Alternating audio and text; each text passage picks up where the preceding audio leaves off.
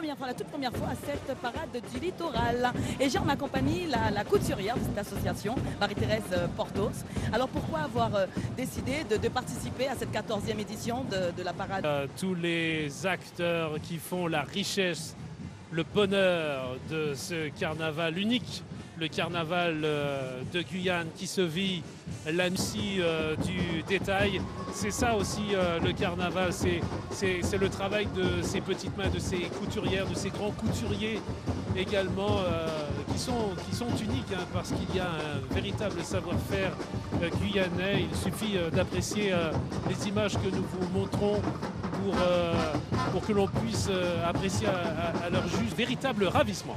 Alors, euh, la suite euh, des débats, ben, ce sera dans quelques instants avec un groupe a vu, euh, qu'on a vu l'an dernier, effectivement ici, et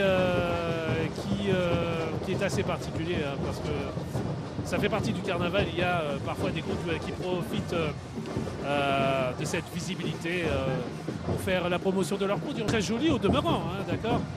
Voilà, ils sont très jolis. Regardez, waouh Sexy, hein, sexy chocolat. Ah. ah ouais, elles sont trop belles.